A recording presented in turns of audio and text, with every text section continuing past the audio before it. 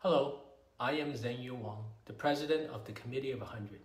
I want to thank all of you for taking time this evening to join us for a timely and crucial discussion of preventing a devastating pandemic, the first of our new webinar series, US-China 2050. Through collaborations with leading universities and think tanks, the series examines long-term challenges faced by the United States and China, while also striving to identify innovative solutions that will address these transnational challenges in the long term. Today's discussion on preventing a devastating pandemic is especially important given the devastating impact of COVID-19 in China, the United States, and the rest of the world.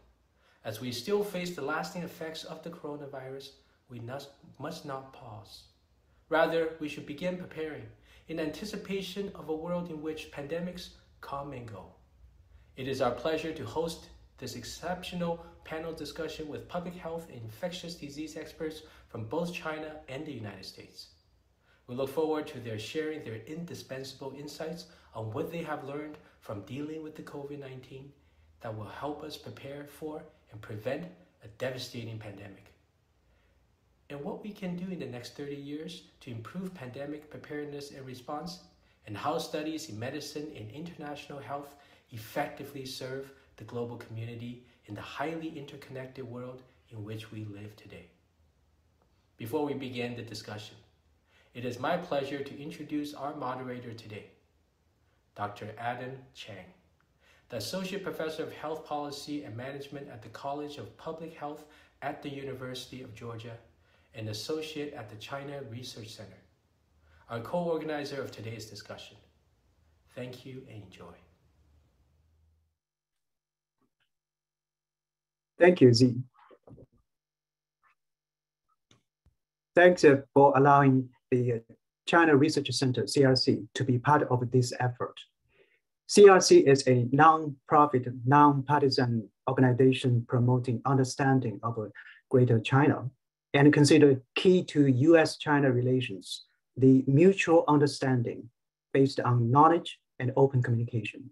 Such this uh, collaboration with the Committee of 100 on the dialogue between public health leaders from the two countries today.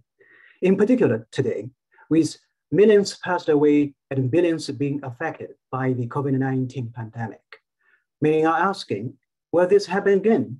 How can we prevent and respond to the next pandemic? What are the equity concerns? Let me introduce a distinguished panel of public health leaders from the US and China. They led in the fights against past epidemics and this pandemic, making them one of the most authoritative group on this topic.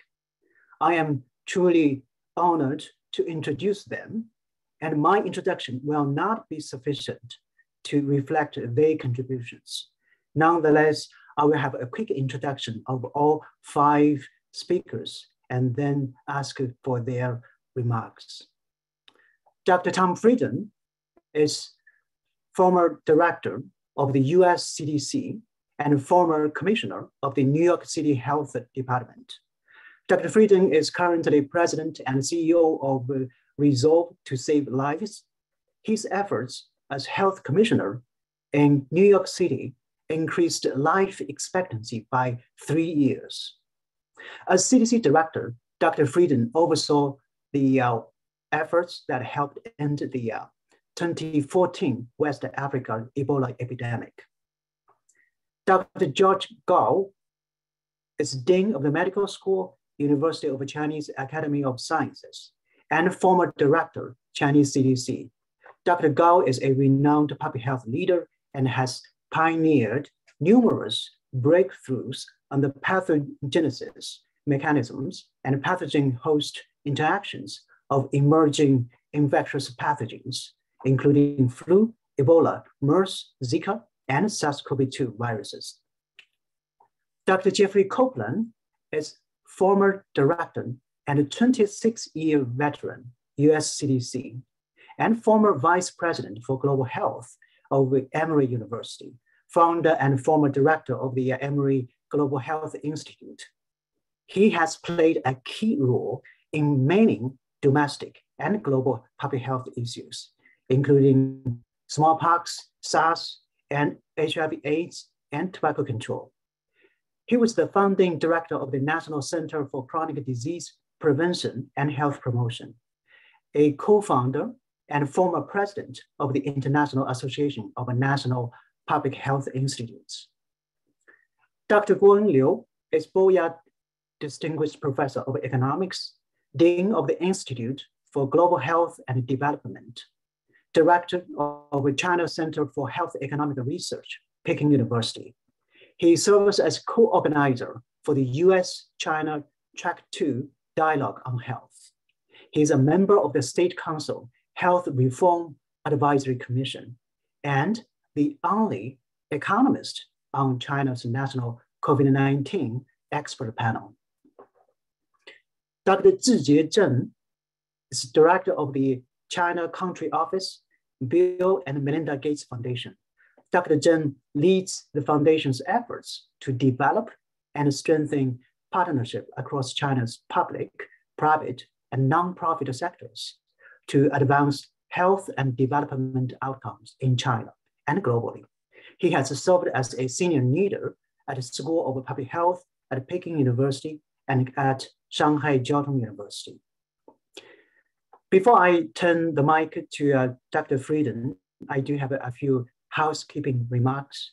Uh, first, this webinar is being recorded and will be available on the Committee of 100 website next week. Second, uh, please use the Q&A box at the bottom of your screen to submit questions anytime during the webinar. We will address as many questions as possible towards the uh, last half an hour. At the end of the webinar, please do uh, complete a short survey to share your feedback. Thank you. Now, Dr. Frieden. Thank you so very much, and I'm honored to be part of this uh, very important panel and this very important dialogue. COVID has many, many lessons for every country in the world, and there is every likelihood that a more contagious or more lethal virus could emerge in the coming years. COVID has killed millions, has harmed economies, and uh, has cost trillions of dollars. What we need to do as a world, every country, and as a world globally collaborating, is to get what we call, at least in English, the three R's right a renaissance in public health, robust primary health care, and resilient individuals and communities. In terms of the first R, a renaissance in public health, every outbreak needs to be found quickly, reported quickly, and effectively responded to. A global target for that is known as 717, that every outbreak would be identified within seven days, reported within one day, and an effective response in place within seven days, every outbreak in every country of the world. To succeed, the world will need sustained investment, especially in the lower income countries, especially in Africa, and technical expertise so that those financial resources are transformed into functional capacities. That also means stronger organizations around the world, global and national, with improved technical and managerial capacity. The second key area is robust primary health care. Primary health care should be central to healthcare systems, and this is the focus to improve health. Accountable, high quality primary health care is essential for health progress. This means staffing by multidisciplinary teams so that doctors can manage the more complicated patients and a larger patient panel. It means patient centered care with convenient, affordable, culturally competent care with no financial barriers to access. And it should be equipped to prevent and manage infectious and chronic disease. That way, the primary healthcare system can rapidly diagnose conditions in the course of regular care, provide rapid treatment, and vaccinate. In every country of the world, there is hesitancy or reluctance to get vaccinated. And one of the most effective ways of getting people vaccinated is for them to have their own family doctor, a primary care doctor or nurse practitioner who can provide the kind of trusted information that encourages people to get vaccinated. Furthermore, strong primary health care can strengthen individual, family, and community resilience against health threats so that if there is a health threat, people are less likely to get severely ill. When people have poorly treated hypertension or diabetes or obstructive lung disease, they're more likely to get severely ill from an infection such as COVID or influenza. And third, resilient individuals and communities. Globally, we will be stronger and more productive economically and live longer, healthier lives with lower healthcare costs. If we end the tobacco epidemic by implementing comprehensive tobacco control, protect people from unhealthy food, and promote wholesome, low sodium, sustainable, former, su farmer supportive food production and distribution, and promote healthy physical activity, including community design to promote walking and bicycling, reduce air and water pollution, reduce harmful alcohol use, and protect our children from addiction to tobacco, alcohol, drugs, and inappropriate marketing by unhealthy food companies. The virus respects no borders. We really are all in this together. We are all under the same sky. We're all subject to the same microbes.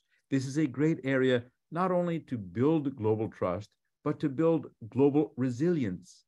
Strengthening national health and public health helps all countries. It lifts all boats, but it requires country commitment, effective governance with whole of government and collaboration around the world, more resources for the low income countries and more effective use of funds, and technical excellence. Success will require new ways of working together that recognize the reality so vividly illustrated by the COVID 19 pandemic that we do depend on one another and can be accountable to one another for improving and protecting health. Thank you so much, and I look forward to the conversation. Thank you, Dr. Frieden. And next we have Dr. George Gao. Um, thank you very much. I think we are discussing something about preventing a devastating pa uh, pandemic.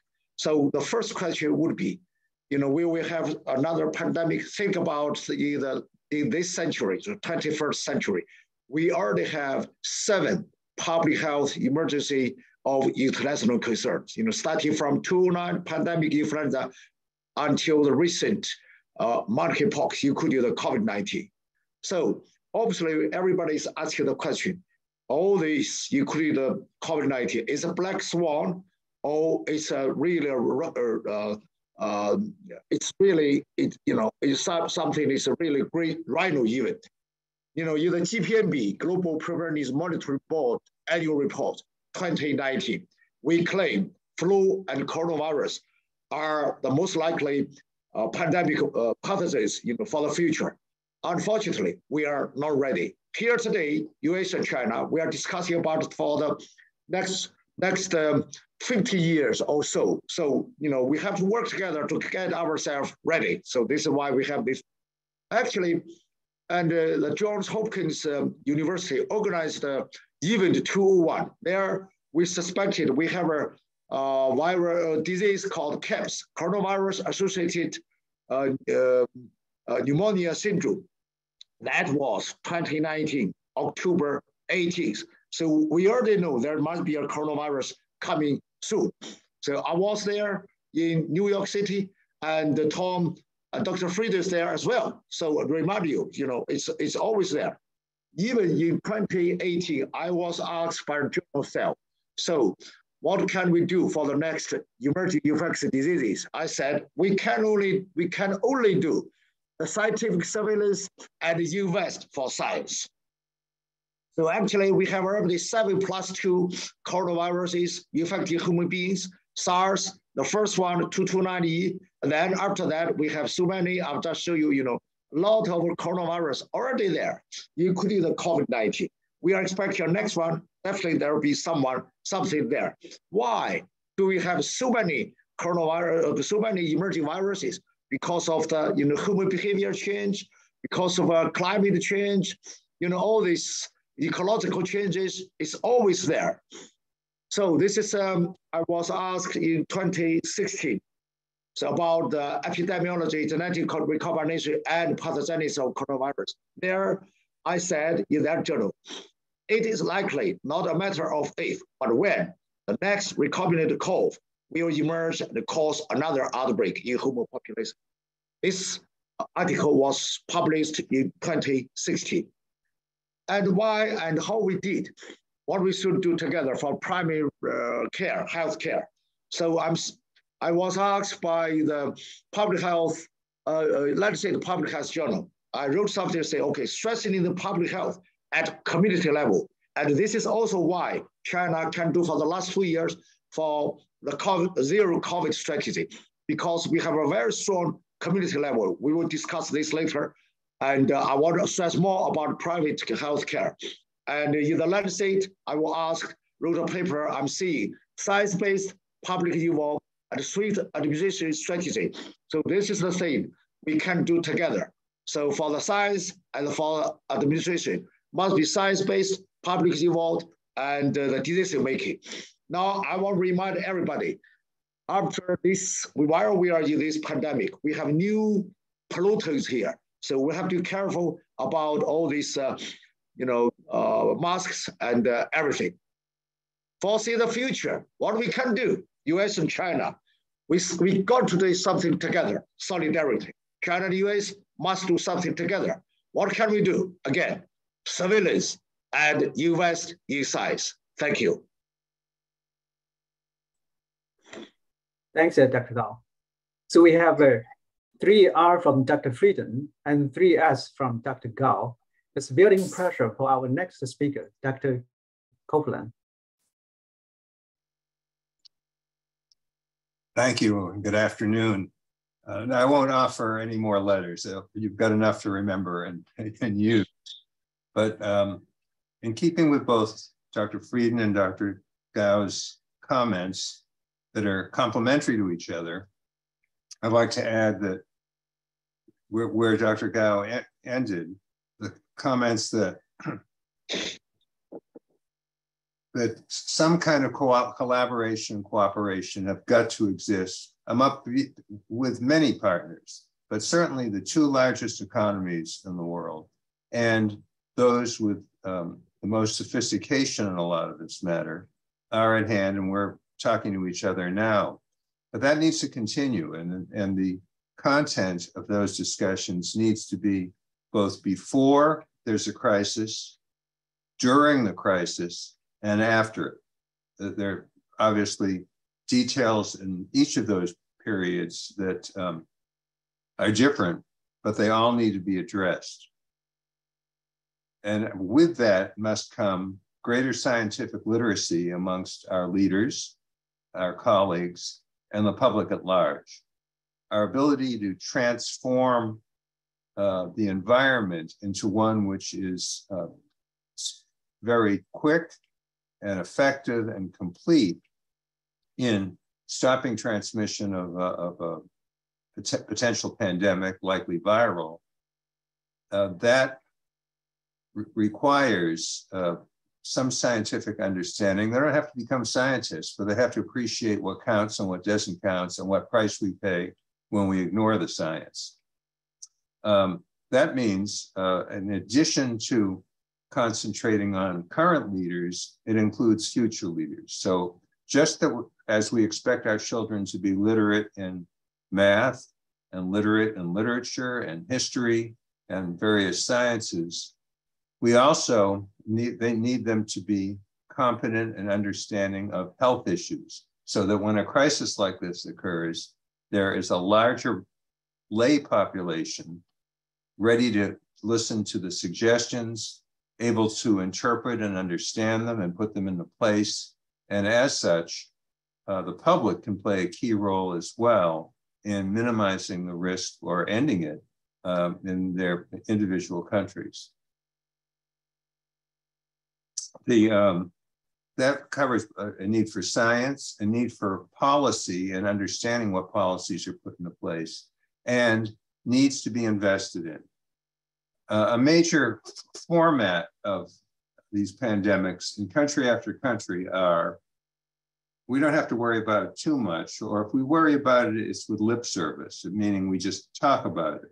But in terms of actually preparing our cities, towns, countryside, urban areas, and when I say our, it's not just the US or just China, it's everybody's uh, need and response, because by definition, the pandemic goes everywhere. And so if there's cases in a cluster in Angola, and there's cases in a cluster in Paraguay, those have to get as much attention as cases in other parts of the country. And then a final item in which uh, we needed to do better is communication to the public at large, as well as to leaders and to each other. That communication can be in the form of data as to what's going on in our country. And as such, um, that that sharing of information can be data, can be uh, scientific information on how a disease is spreading, uh, what are the characteristics of the disease and how is the virus changing to threaten us. All those uh, need to be part of, of our approach and not wait for a pandemic, but have those ready and able to be deployed uh, when, a, when a crisis occurs certainly, and I don't like to necessarily use a military analogy or a sports analogy, um, one has to be prepared well ahead of time for um, an event that may not occur right away or may occur very quickly, that may be um, evolved from something we've seen already, like coronavirus, or maybe something quite different that comes down the road. But what we can absolutely be sure of is that there will be more of these events, some of them more amenable to dissemination, some of them more localized in their approach, but all of them threats to our health and that's health everywhere. So where, where there's um, a calming down of, of interest, you know, sooner or later, and this is true of, of this pandemic, already people are saying, well, it's not that dangerous anymore it's almost over. We can just go back to what we did before. That cannot take place. We cannot go back to what we did before because we didn't do enough and we didn't do it quickly enough.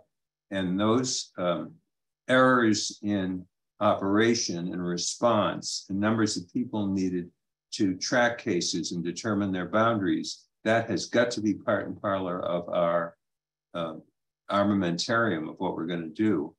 And to do that, there needs to be investment. So you can't get off on the cheap on this. We're going to have to pay for it.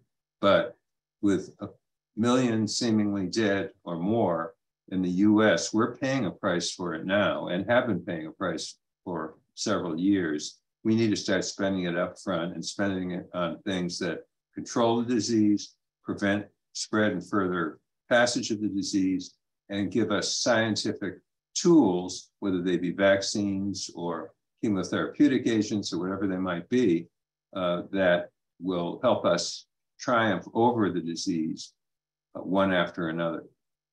Thank you. Great. Thanks, Dr. Koplan. Thanks for sharing your insight as always. Uh, our next speaker is Dr. Guowen uh, Liu. Thanks, Adam. Hi, everyone. Um, I'd like to share two of my observations on the pandemic issues um, to be discussed today. Uh, first is on the opportunity cost to fight against the pandemic. Over the past three years since the pandemic outbreak in early 2020, this highly contagious disease has deeply affected all human life and work directly or indirectly in response, all countries have taken various measures in response for both prevention and treatment goals. Looking back, I think there's so much to learn revisit from what we have done similarly or differently across international borders. On the one hand, thanks to the medical innovation, we do have many positive accomplishments to celebrate and be grateful for, such as a global access to vaccine within 2020, uh, 2020, at the end of 2020. And oral treatment drugs that are available last year, 2021, that saved the millions of lives at the virus-led high risks. On the other hand, following the societal virus containment measures and healthcare interventions leading towards the COVID patients, we also must not underestimate the pervasive opportunity cost we pay, including limited care for patients with other severe conditions such as cancer or chemotherapy or cardiovascular problems, as well as the upward poverty trend observed in many developing countries due to the reduced economic growth. Now, one may reject the economic trade off argument by putting life above money, which may be true for individual choice at own cost. But like or not, at the population level, money and life can be the two sides of a life coin because under shared economy with public programs, one's use of more money would cost to others. And more importantly, uh, total less total money means more poverty, and more poverty means fewer to survive. In fact, as you all know, poverty is the leading killer, taking away more than five to six millions of lives globally every single year. Most of them, unfortunately, were children. My second point touches upon the digital transformation in response to the pandemic. In response to the human to human transmission of the disease, we humans must either stop interactions for short run surviving or find a way out to continue our work and life in the long run. Among many innovations, digital technologies plays a central role in helping humans meet the distancing requirements for all activities that can be switched to online, virtually, or automatic substitution for human body involvement. Although digital technology can transform almost all sectors to a various degree, healthcare, in my view, is among the few that are mostly promoted digitally in the past three years. And it's for two primary reasons. First, healthcare is one, one of the most service intensive sectors offering great room for technological transformation. Second, healthcare is about changes in the risk of disease and death, leading regulators to set high bars on safety requirements. But because of the virus driving force for human distancing, virtual care gains much greater um, uh, uh, advantages uh, relative to the office based services as we used to uh, obtain. So in any case, a fast trend of digital transformation has been well observed in healthcare, offering two important implications that, that need to be noticed. First, a positive one is labor productivity improvement resulting from the labor saving digital technologies to allow more AI based online services or remote medicine. Second, there is also increased concern on digital divides against the disadvantaged groups. Here, primarily, I refer to the people with poor economic, educational, or cognitive constraints to participate in the digital economy unless the effective targeted public programs available to help their ability or subsidize them directly the disadvantaged groups would be left increasingly behind the digital economy. For healthcare in particular, the increased digital divides may not only affect the income of the service providers being substituted, but perhaps also on patient welfare because of some dehuman services in place for healthcare. Um, I'll stop here, Adam. Thank you. Thanks, uh, Dr. Liu. It's really uh, great to hear from a fellow economist. Thanks. And last but not the least, uh, um, we'll have Dr. Zhijie Zheng. Thank you, Adam. Uh, it's really uh, delight to be a part of this panel.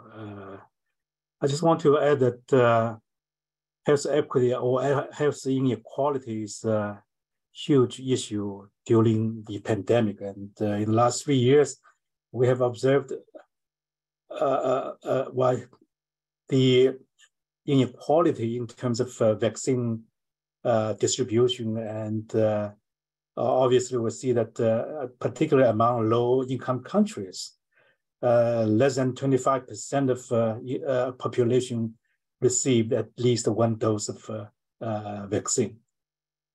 Uh, despite that, uh, we have witnessed unprecedented innovation in vaccine development. within a year, we, the world created multiple versions of COVID vaccines. So health equality has always been at the center of uh, Gates Foundation's work. And uh, over the last three years, we have invested over $2 billion in uh, pandemic response, particularly, in support those in the low income country uh, to, to, for, for their responses. We'll continue uh, invest uh, in pandemic preparedness and response, particularly in five areas as uh, Dr. Frieden just said, that uh, a strength health system and the invest in uh, primary health care is hugely important to develop the uh, resilience uh, in, in, healthcare. We also invest in uh, enhanced integrated disease surveillance to ensure that we can have a much earlier warning system to allow us to respond earlier. We also work with uh, global partners to catalyze a global pandemic corps, which uh, is a workforce responsible for global uh, uh, uh preparedness and responses. So hopefully this uh, will be something that well, we, we, we, we can develop, we, we see such a team develop. We are also invest in um, accelerating research and development of new vaccines and the new treatment and the delivery tools to ensure that uh, uh, we can uh, quickly uh, uh respond to uh, uh, such a, a, pandemic. For example, CEPI has called for that 100 day of vaccine development. So this is a, a, huge undertaking, of course. And finally, as Dr. Koplan mentioned, that the finance uh, uh, it's hugely important. We need resource to finance effective uh, pandemic preparedness and, and the response. So what we have learned from uh, uh, the COVID pandemic, this uh, really reminds us that we are all interconnected. This crisis presents us with a major opportunity to emerge stronger, more prepared, and more equal.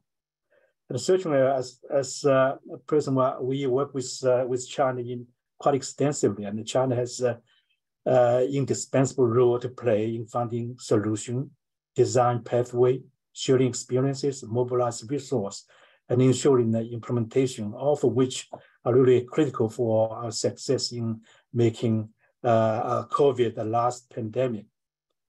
And with, work, working with Chinese partner from uh, public and private sectors over the last 15 years, we have seen China's potential to become a major contributor to global health equity.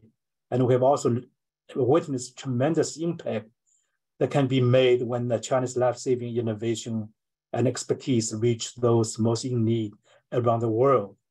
So, uh, so for uh, uh, for our office, we support well, mainly from uh, as, as part of a foundation that we support China, China in terms of research development into a new and affordable uh, vaccine that protect families in China and around the world. And we help uh, pharmaceutical companies scale up their manufacturing capacity and meet international quality standards like uh, WHO PQs so as to help fill the gap in vaccine equity and accessibility around the world. We work with uh, uh, government agencies and private sectors to support uh, uh, uh China in supply vac vaccine in the public goods through multilateral initiatives such as Gavi and other mechanisms. And uh, certainly, we encourage expansion of uh, national immunization program in China to ensure that uh, more critical vaccines are made available for free for those who need. So all this work and this part of uh, uh, uh, Uh, uh, uh, effort that uh, we uh, we are we are working, and obviously China and the United States as the two largest economy, the future really depends on how well these two countries work together in terms in terms of all aspect of pandemic prepare preparedness and response. So I look forward to uh, in-depth discussion uh, down the road. Thank you. Thanks, uh, Dr. Chen. And thanks, everyone. Uh, this is a, a great uh, um, discussion on the um, how to prevent the next pandemic. We do have a, a couple of questions, which is more aligned with the US-China 2050 initiative. And uh, um, we do have a question for the panelists. Uh, first question is the what's coming in the next 30 years also uh, for public health in China and the United States. And uh, how the next years, 30 years also might look like uh, a, uh, for a next pandemic. Do we have any panelists who want to take on this? I see Dr. Frieden has unmuted. Oh, well, I'll just say that we can anticipate, as has been said by the other panelists, that we will continue to see the emergence of health threats. In fact, we may well see them at a faster and faster pace because of our increasing encroachment on uh, the natural world and because of the closer um, interchange among people. This is happening. Um, we'll also see the continuing threat of non-communicable diseases, making our populations more vulnerable, and uh, things such as uh, injuries, which make things very challenging. So I think um, we're going to see challenges like this. And uh, one of the really most important things that we can do is to make sure that we're learning best practices from around the world and adapting them, recognizing that we really are all in this together. And if one uh, country or community identifies uh, a better way of finding an outbreak quickly, diagnosing it, or treating it, or vaccinating against it, uh, it's very important that be shared. That's that's in all of our best interest. So I think um, what we hope will happen over the coming decades is more of a global collaboration to prevent, detect, and respond to health threats. Thank you. Thank you, Dr. Frieden. Uh, can I go to Dr. Koplan?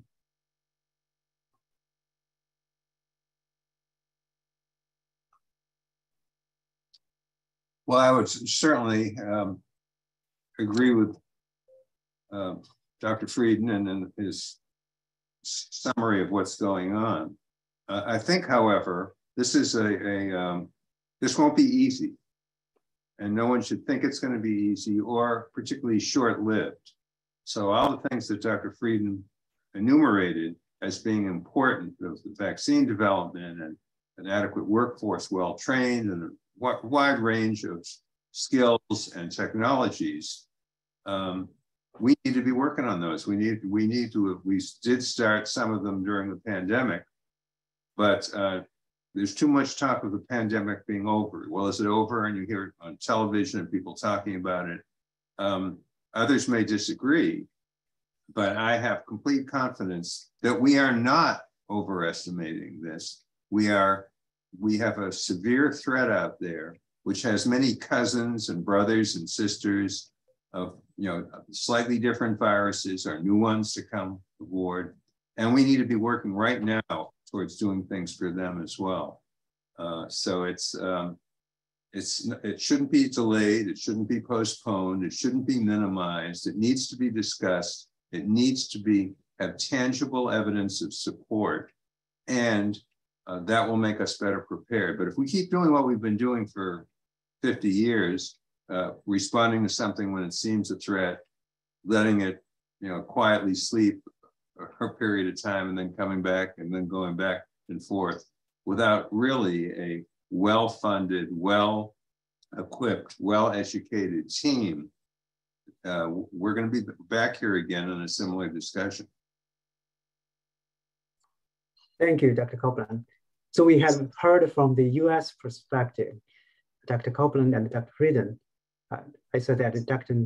Uh, Liu has unmuted. Dr. Liu, uh, do you want to take on this? Well, I okay, let me give it a shot. Um, yeah, uh, speaking for the future um, scenarios um, for the US-China collaboration and, uh, with other countries to fight against the global pandemic uh, next.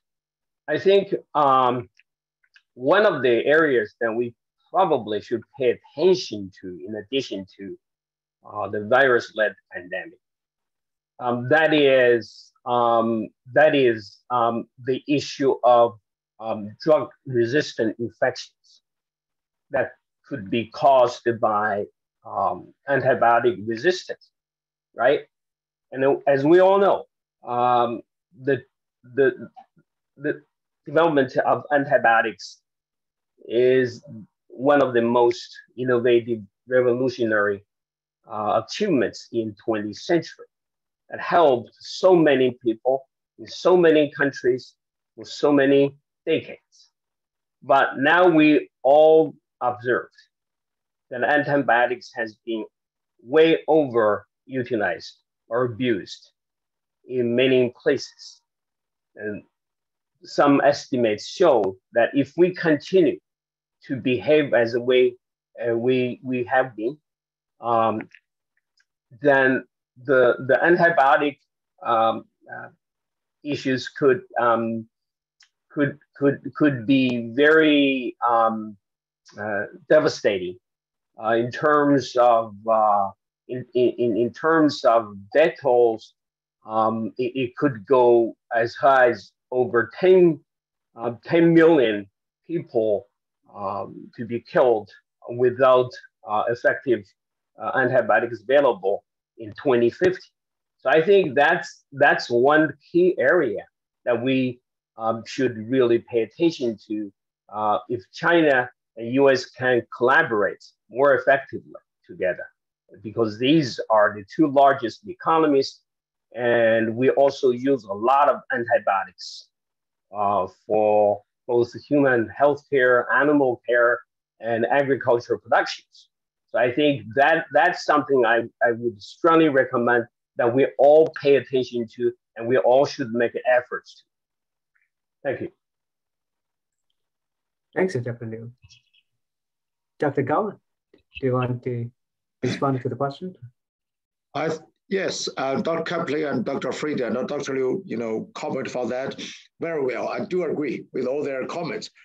I think, you know, like Dr. Liu mentioned, even the MDR, in addition to all those viruses, it's a very, very serious problem. I mean, with this um, webinar, we should, everybody should realize public health issue, every public health issue is global. So global public health is real. Not any a single country or single person you can do anything about public health because it is public. So this is why you know when I, uh, you my last slide I said that, and also I want to say if we don't unite together, we, we if we cannot line up, the virus will line up, and the public health issue will line up, like the food uh, problems and also MDR. So this is a we should learn a lesson from what we have been experiencing for the COVID-19. You know, I'm, I would ask the question, did we unite together for this pand pandemic preparedness and all the measures?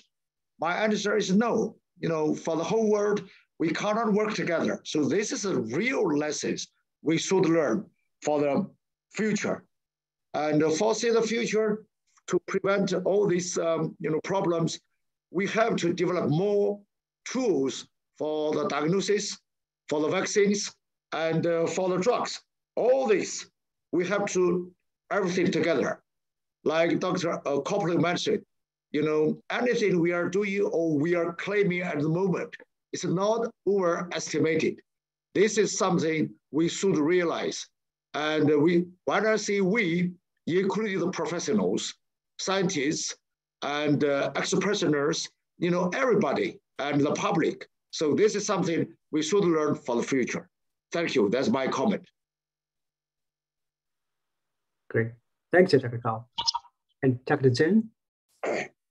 Well, well, thank you. Well, I think uh, uh, for for panelists that's covered very well, and uh, but uh, the foundation we call the impatient optimism. In some way, that uh, in light of uh, of geopolitical competition and the situation, U.S.-China relation, and this really prevent us to work together in in more in in in, in, uh, closely.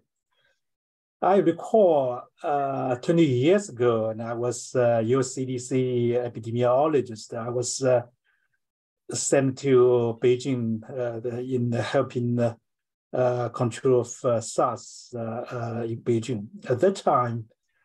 And well, certainly this is as a part of the WHO team, and we see much more closer, much more close relationship in terms of uh, uh, uh almost everything. And but on the way that uh, uh, from this uh, pandemic, and obviously the political situation is totally different, and so how we can really uh, make sure that the two countries work together uh, in a way that in light of uh, competition, but we can still work together on global health issue collaboration. This is something that uh, should be part of uh, uh, not thinking and action for everyone. And certainly I see committee of 100 has a role to play in the future, make sure that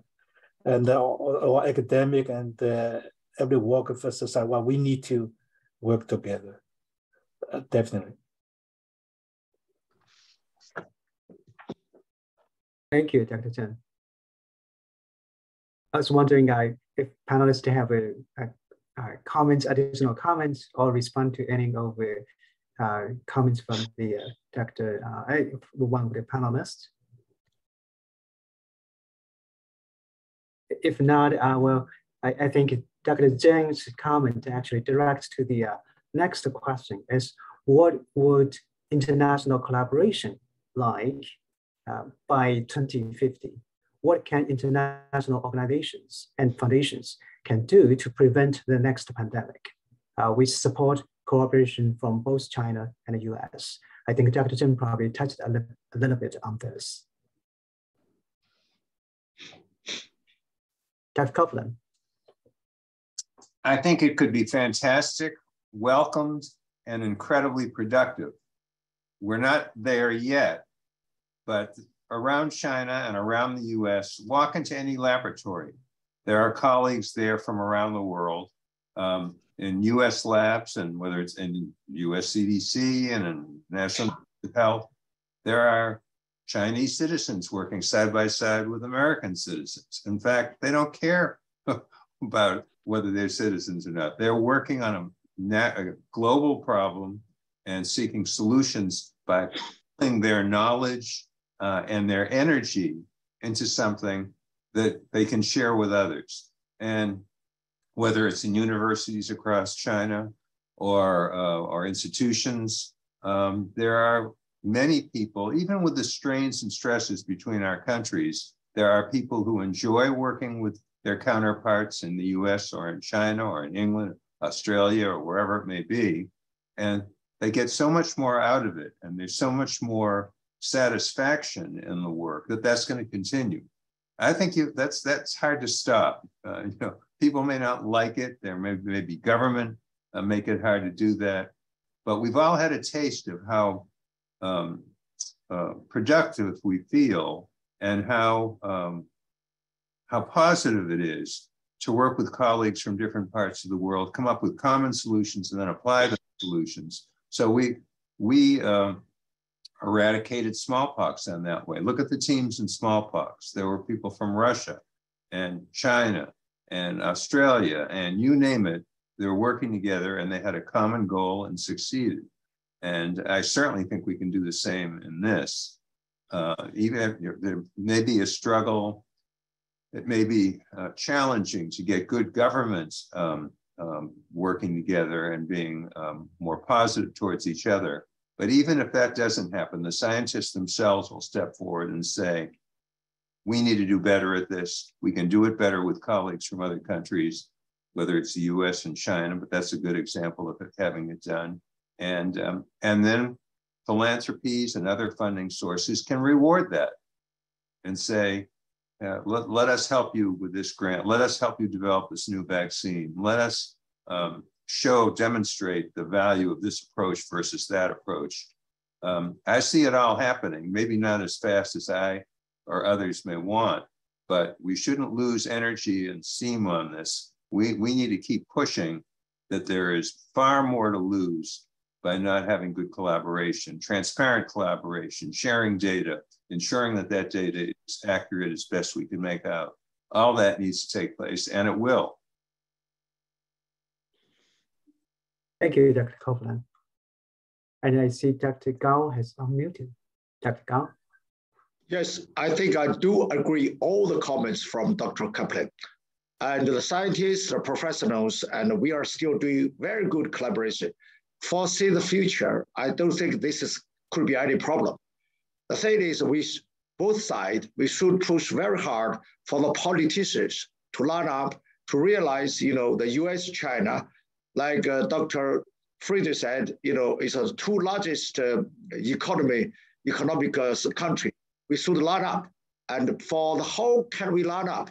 We might want to, like uh, Dr. Uh, Adam, you mentioned, should we have some other kind of uh, organizations? For that, I think Dr. Chen from the Gates Foundation can help to, you know, organize a new organization or something like that. Uh, how can we work together? Or like uh, Gordon's um, U.S.-China uh, track two dialogue. You know, we really need that. We need some common voice from both sides to call for united action from both sides. I think this is something we should say for the foresee the future for 2050. Uh, I'm very confident, you know, we could do something together, like we have done, like we are doing. Thank you. Great. I think uh, Dr. Liu has been queued, and Dr. Liu. hey, yeah. Um, speaking of um, uh, the global collaboration, I think it is no doubt that data sharing uh, is at the heart of, of, of digital economy for collab for global collaboration, especially for healthcare, which uh, obviously involves with uh, critical information and interventions on human biology and human development. Uh, although data security has long been a central issue to care about when conducting health research in the past, I think it is never more important than today when the world starts the digital era, where big data becomes a dominating source of power to determine the future progress of human health and economic development. Uh, in the meantime, however, making a, a, a, efficient use of big data involves great costs as well, including both the patient's uh, privacy and national security in particular. Um, unfortunately, it is not an easy job, if, if, if not an impossible mission, for any country to find the optimal approach to balancing the productivity gains versus potential security uh, risk. When it comes to global health um, collaboration and the risks posed by the future pandemics, I think international data sharing would have to be more critical uh, uh, and more sensitive than than domestic use. Well, I don't uh, pretend to be an expert in the field, nor do I expect this panel to offer satisfied solutions. What I would suggest is to revisit how we humankind have arrived at where we are. In my humble opinion, uh, global collaboration uh, in human history can never be possible without mutual trust and bearing some limited risks, right? So looking forward on global efforts to promote um, uh, uh, human health, we cannot Uh, and that we should not expect a world with free of risk for data security while sharing, right? So, but rather count on more mutual trust and courage that may be built with better common value in the future, especially between China and the US. Back to you, Adam. Great. Thanks, Dr. Liu. I'm curious, Dr. Frieden or Dr. Chen, do you uh, want to comment on this question, US, China, and international organizations? I think the comments that have been made already are, are exactly uh, correct. And uh, I do think that the more we can recognize that we're unified against a common enemy, which is microbes, the better off we'll do. And the more we share knowledge about the risks, share knowledge about the epidemiology, share knowledge about the countermeasures and how to develop and apply them, the better off we are. I think there are also broader lesson sharing as well. For example, best practices in primary healthcare. Uh, one of the silver linings of the pandemic has been the explosive growth of telemedicine as a way of extending care and making it more efficient. That has to be done carefully within boundaries. And as mentioned earlier, addressing some of the digital divide issues and access issues.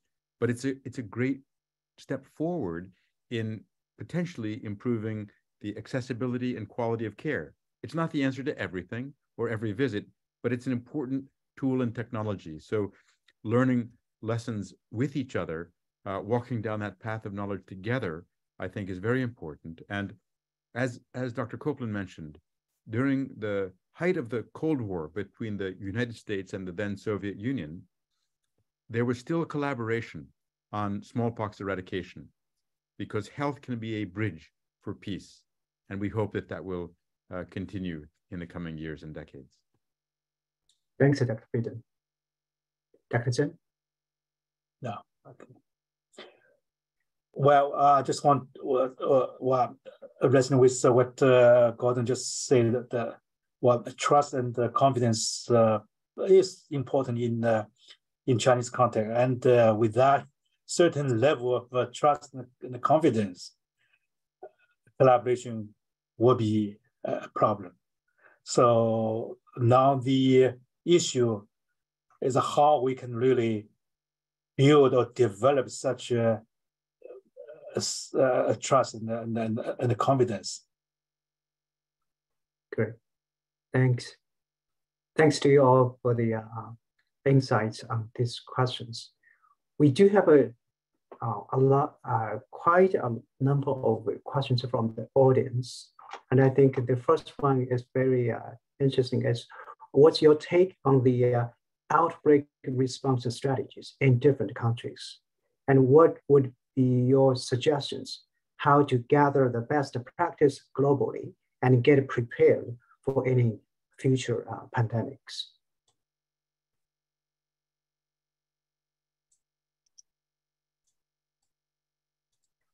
Dr. I'm, I'm either brave or foolish to try to answer this question, but um, the the, the uh, um, the, the working together uh, is is certainly doable. Um, support for that, I think, is doing and will be continued. I think one one thing uh, that hasn't fully been discussed is there's an interest in primary care and to improve primary care and to disseminate it more broadly to deal with the pandemic. But there also needs to be a better working relationship between healthcare professionals, doctors, nurses, whoever, and the public.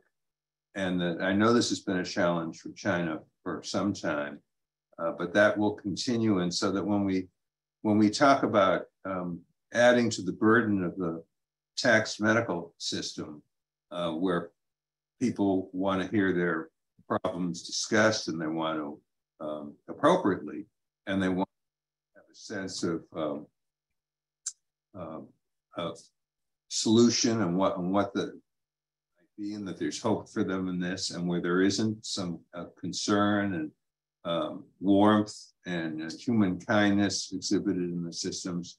Uh, we all strive towards these things, but these are part of the issues here, and they'll need to be addressed just the way vaccines are improved and built upon. The medical teams will need to be improved and built upon, and, and both our countries in different ways. I, I think this is a, a, a very, thank you. I think this is a very important question because uh, every country is different. Every country has its own strengths and weaknesses and context, but there are best practices from around the world. And in my, my group, Resolve to Save Life, we've we've looked at that some, and I, I can I can mention really uh, many that are really important for every country to learn from. Every country can learn from every other country. Uh, there, there's there's no country that did this perfectly. There's no country that has all of the answers. Um, but if you look at, for example, informing the public by alert levels to say when there's a particular risk of COVID, so that people can adapt themselves. Countries like Singapore have been doing that very, very well.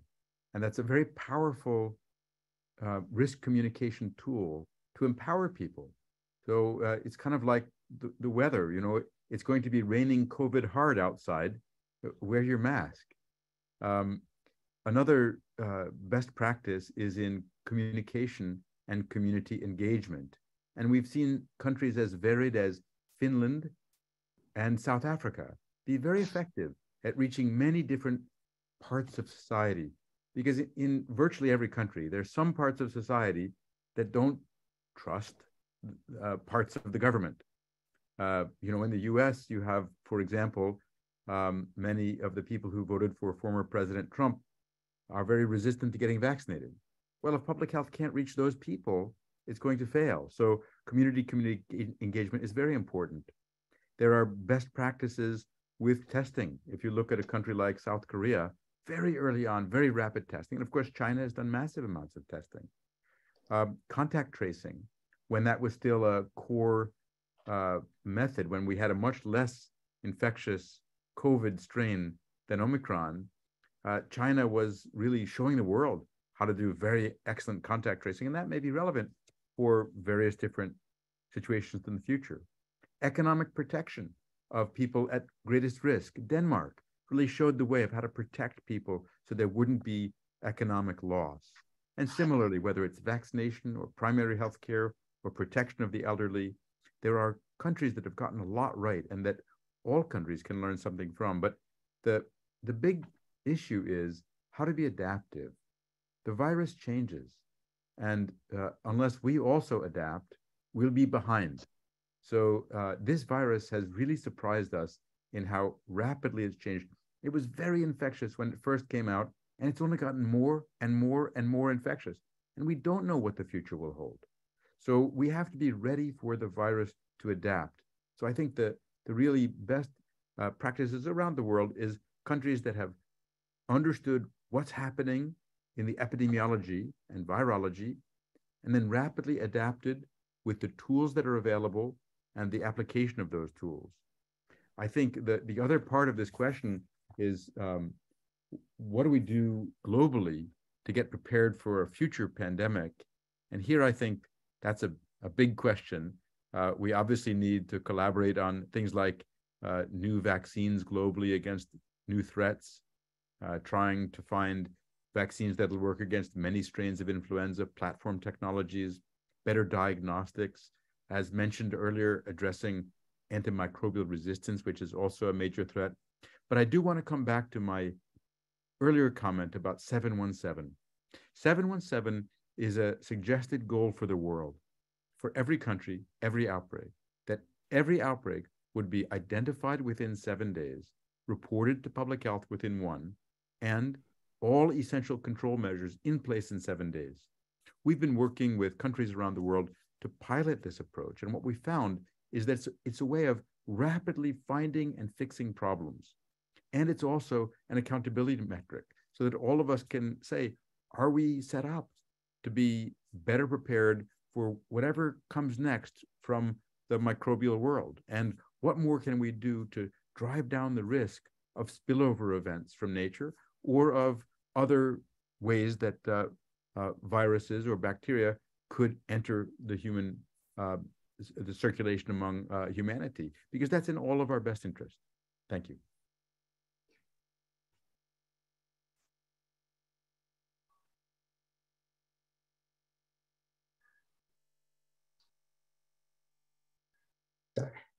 Yep, I am here. Um, sorry, I was muted. Uh, Dr. Gao or Dr. Liu, do you want to chime in? Uh, okay. All right.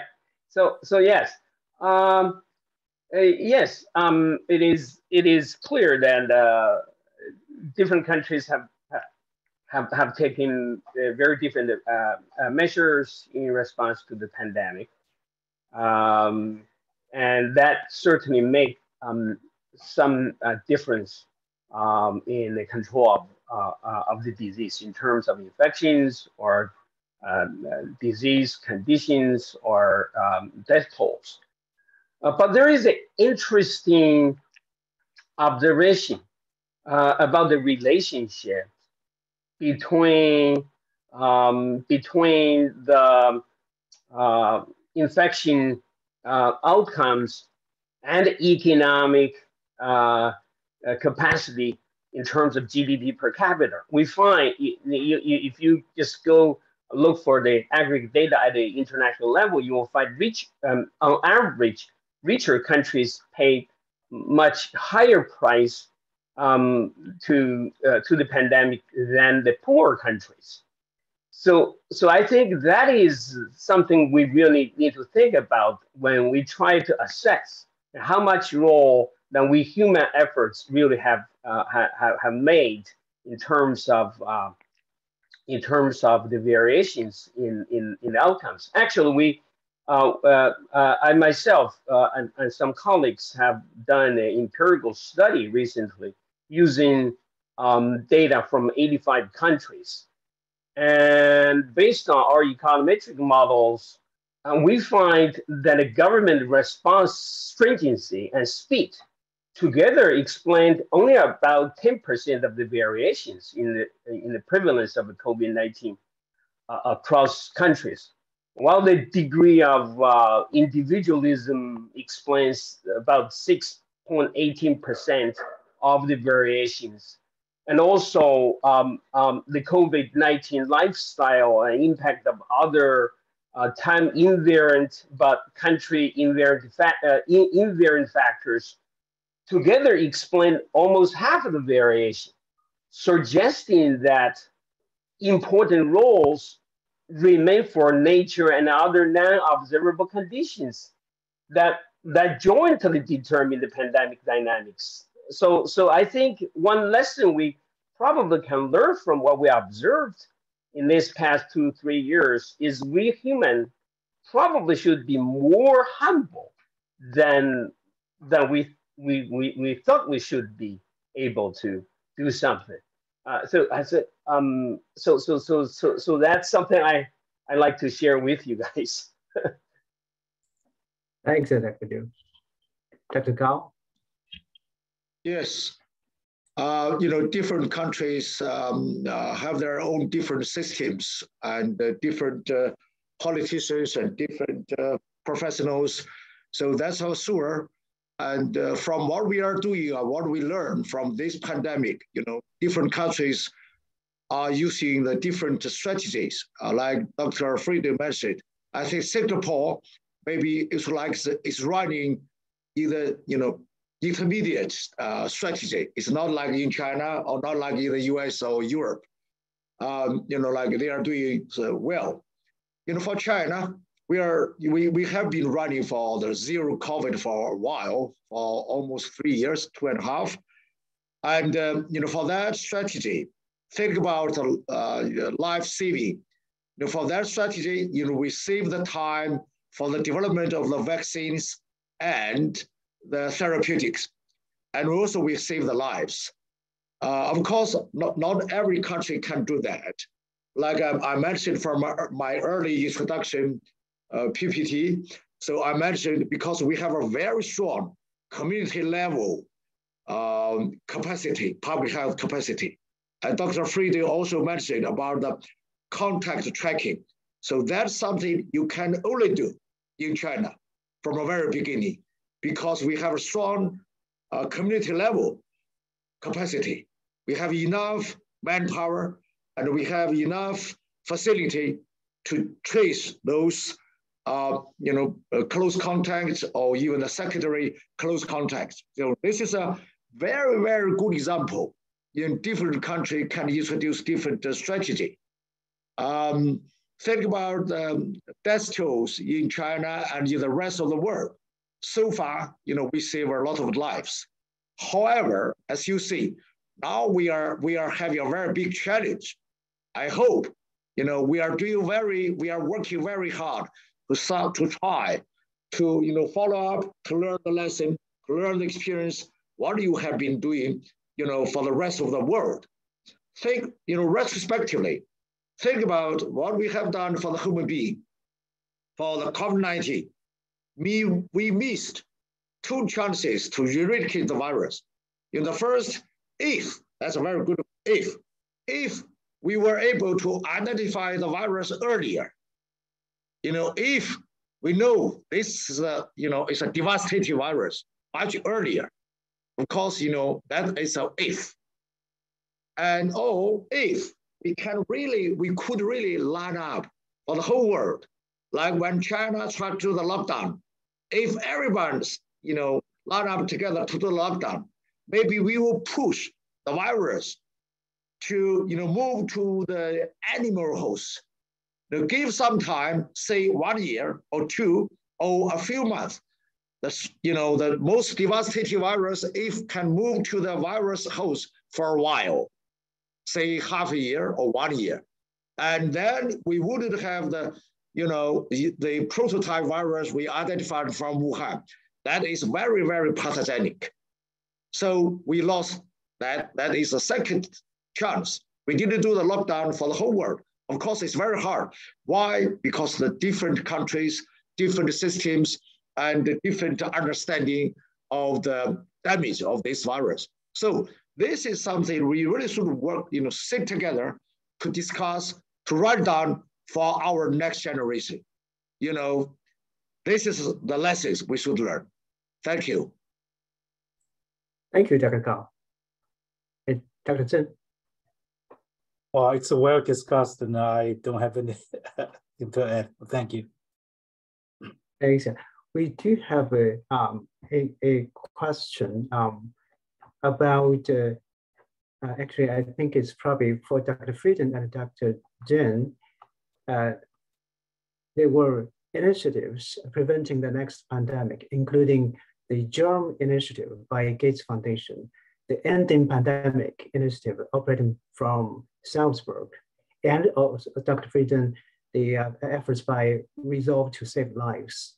Um, his question is to um, how these initiatives uh, co are coordinated, and if not, how can these initiatives be better coordinated? Thank you. It's a, it's a great question, not an easy one. I think we have to start with the recognition that public health is fundamentally a public responsibility. And therefore, one of the most important roles, even for non governmental organizations, is to support governments of the world to strengthen their public health systems. That is uh, core. And that includes the World Health Organization. Uh, the World Health Organization has come in for criticism from various uh, quarters, but fundamentally, it is what the world created. It does what the world allows it to do. And uh, one of the things that I think all people working in preparedness and prevention of epidemics should do is to work to strengthen the public systems, both the international public systems and governmental programs. No non-governmental organization, no philanthropy is going to fix preparedness for the world. This is only going to happen by the governments of the world.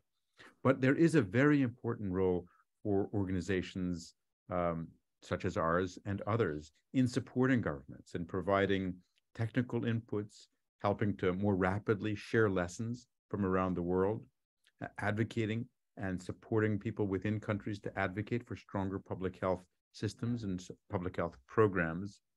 So uh, there's a there's a very important role for non-governmental entities in helping to shape uh, the governmental response. But fundamentally, this is a public sector problem. I look forward to hearing what uh, my colleague from the Gates Foundation has to say. Well, I fully agree with uh, Dr. Frieden's uh, comments. Well, uh, uh, NGOs can do only stuff.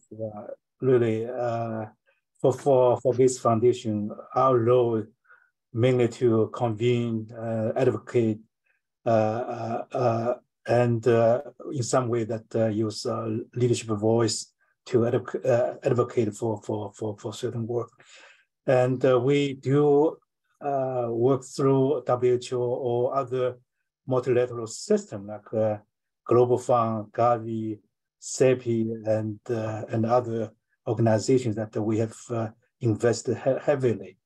Uh, through this kind of a partnership and the mechanism that we can uh, really make make an impact. And the many investment we see, well, certainly from uh, a global fund and Gavi and CEPI, we we we see that uh, already the system uh, is in place and has have developed in a low income country in Africa. That uh, while global fund uh, the work has the, the system has built really has has really played a huge uh, important role in pandemic responses. So I think that uh, this is a way that uh, that uh, as a foundation that we will continue uh, work through our partnership with uh, uh, yeah at the, at the global level. Thank you. Thanks, Dr. Dr. We do have a um, another question that we probably can address before the final um, remarks. Um, the question is about uh, COVID-19 in China, which taken to the uh, present sense. Um, the COVID-19 infected more than 80% US population uh, so far. And if this is the next step in China, uh, and I, I, I, think actually there were some estimates about 60% or even more than that uh, in, in China, what should we do? Are we ready for that? I'm not sure if Dr. Gao or uh, Dr. Gao.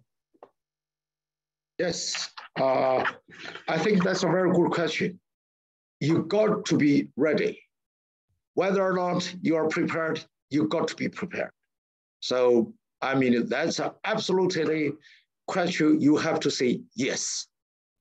First, I would say we can learn from the rest of the world. You know, so many countries, they experienced, they have the lessons, they have experiences, we can learn.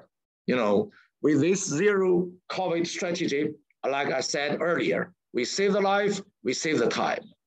Second, and we know we got to prevent the vulnerable population, like the elderly or uh, you know, the, someone with the underlying diseases. So we have to do this so-called, you know, stratified strategy to organize the you know, hospitals, all these resources. So that's very, very important. You know, we are doing very well. We are trying very hard to, you know, um, uh, call for the young people them, are, you know, if they are positive, they feel ill, I mean, don't rush to the clinic, you know, stay at home, you know, try because it's a, you know, Omicron very like, you know, uh, less pathogenic. And thirdly, so we have a very high popu population percentage of the vaccination. And also, you know, we have some therapeutics uh, drugs or inhibitor ready like the uh, uh, Paxlovid. And also we have something also produced in China. So, you know, um, the only thing is, like I said, we try to do the um, uh, certify the vaccination for the elderly. And fourthly, so we are doing you know, a lot for the public understanding of science. So this is very important to prevent from the epidemic. You know, epidemic could be a very serious problem to anywhere in the world. Think about what happened this time, like Dr. Frieden mentioned. Even President Trump said something, you know, it's, you know, it's so hard for the public to understand. And fifthly, for the uh, uh, you know preparedness in China, I think we still have very strong government, you know, very very strong political will here. So, you know, of course, you know, we we we are you know it's a very good uh, it's a very big challenging issue in China, but you know we we are you know we got to be ready. So that's my comment. I think Dr. Gordon might have something new. Thank you. Thanks, Dr. Gao. That's really exciting. And Captain Bill? Well, uh, I only have something minor to uh, to add to what uh, George just said. Yes, um, you know, um, you you like or not, you have to meet the changes in in the pandemic settings and, and, and the conditions, and and then and and then uh, optimize your strategies accordingly. I think the difference is uh, you um, you make changes in your policy response more actively or passively. I think that's the difference that the people can, you know, make um, assessment of that because the difference between passive versus active response would um, would, would have different outcomes in terms of uh, um, the health outcomes and economic outcomes. I think that's what I like to add to his points. Thank you. Thanks, Dr. Liu. And I'm curious that rest of the panel, I, Dr. Fried and Dr. Koplan, Dr. Chen, do you want to chime in? No, I would just I would just say that uh, China has followed a path to minimize the health harms from COVID. Uh, now there uh, there's a very challenging situation with a very highly infectious um, uh, variant that was not predictable, uh, and with uh, increasing information that we have from all over the world that for the elderly, uh, vaccine protection wanes pretty quickly. Uh, within four to six weeks, four to six months, you can see much um, much weaker protection from any of the vaccines. Uh, and you've seen what happened in uh, Hong Kong, where uh, there was a very rapid increase in mortality rate because you don't have the uh, existing immunity. So I think um, we should recognize that the situation is very challenging and uh, understand that the uh, society is doing what it can to balance. And this is one of the real challenges. How do you balance the control of the disease with the ability to for kids to go to school, uh, to have economic progress, to have work. Uh, and this is something that every society needs to uh, determine for themselves. I can say that from the United States, we certainly made mistakes. We closed schools for too long, too soon. Too many kids lost too much education. Uh, we uh, have not been able to vaccinate uh, seniors. In the US, we're still losing 200 people plus per day, uh, almost none of them up to date with their vaccination and getting Paxlovid if they're sick, but overwhelmingly the elderly. So I think we have to respect that each country has its own pathway and its own challenges, limitations, and strengths, uh, and that what China has done so far has prevented millions of deaths. Uh, and so what it does going forward is very challenging. And uh, we, we just uh, wish everyone well with that challenge. Thank you, Dr. Frieden. Dr. Koplan and Dr. Chen. Yeah, thank you. I would fully concur with what Tom just said. One thing is that from really the start of my public health career, and I'm sure for the, our other panelists, something similar, the press likes to ask the question, well, are we prepared? And, um, and think that that's a reasonable question. I think it's, I've never heard anyone say, now that's a really good question, because it isn't. It involves weighing a variety of pieces of information, disparate pieces of information, and things change rapidly. And so it's guessing to some extent. Now we need to get hard evidence and replace guesses and uh, hypothesizing with data and studies. But nevertheless, that my answer for are we prepared is for what? Are we is the, are we being prepared for an outbreak of 3,000 or an outbreak of 300 million. And um, and the for what part is crucial. So when someone with great confidence says, oh, yes, we're prepared, I would discount that information immediately. Thank you, Adam. Thanks for having us on. Thanks. Dr. Zheng, do you have any comments on thoughts? Well, certainly, uh, well, next three months will be critical for China to cope well, uh, in, in terms of uh, transitioning. And uh, so personal uh, responsibility plus uh, government support is critically important. I think that this is a critical moment and need everyone really be alert and take action and successfully uh, pass this uh, period of uh, transition. Great. Thanks, thanks everyone. Thanks. Um, this is a great discussion, and I think we have touched many uh, of the pressing issues and also the long-term vision of uh, within the next 30 years for China and the US. Uh, I think we don't have enough time for additional questions. But uh, I was wondering, can uh, each of the panelists can provide uh, a one minute closing remark? can I start with Dr. Frieden again? Thank you. Just very briefly, we we know even if COVID had never happened, we know that the world needs to do many things better. Reduce the risk of spillover from uh, whether it's wet markets or encroachment in forest areas in Africa or Asia or the Americas or wherever. We know we need better diagnostic systems to find problems when and where they first emerge. We know we need better laboratory systems to diagnose accurately and promptly, and better biosecurity to make sure that uh, the laboratories that are worked in are safe wherever they are. We need better response systems, better vaccination programs, uh, COVID is a wake up call to the world. Even if it had never happened, uh, we know we must make rapid progress keeping the world safer because we are all connected and we should all be united in fighting our common enemy, which is a microbe, which is the microbial world, which outnumbers us. So we have to outsmart it by working together. Thank you.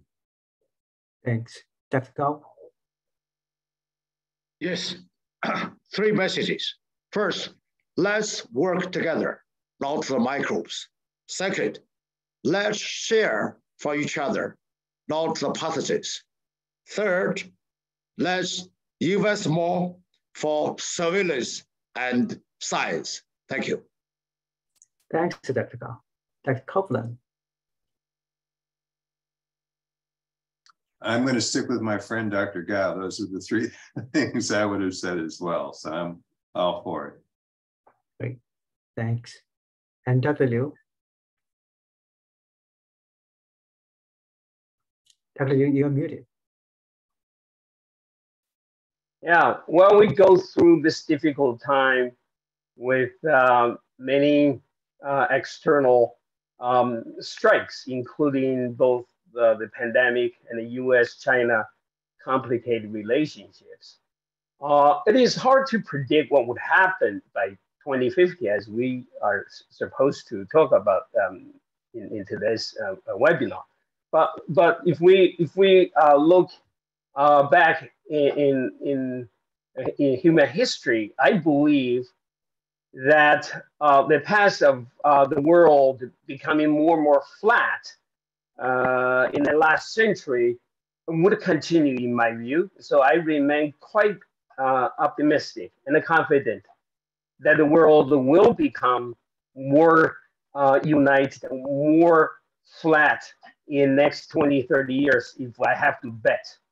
I think that's that's that's that's the main driving force that that um, other um, the other uh, uh, the individual um, forces can cannot win over the central trend of the development. Thanks, Dr. That's exactly I want to, to, to say. I, I remain remain optimistic. This world is uh, it's a beautiful, it's our life's beautiful, and I'm sure that uh, we will all work together, really to make sure that uh, we are safe, health, and uh, prosperity. Thank you. Thank you. Thank you all. Thanks, Dr. Zheng, Dr. Liu, Dr. Koplan, Dr. Gao, and Dr. Frieden for sharing your thoughts, sharing your vision of the future of public health in the US and in China, and for the discussions and exchanges. This is uh, exciting, illuminating, and insightful. Uh, many of the recommendations, uh, things being discussed and will have important implications for public health uh, in US, in China, and worldwide. Uh, I wish I we have more time to continue the discussion, uh, but unfortunately we have to stop here. But I'm sure that we'll find another occasion to continue the discussion and more importantly, to continue the uh, public health work. Thank you.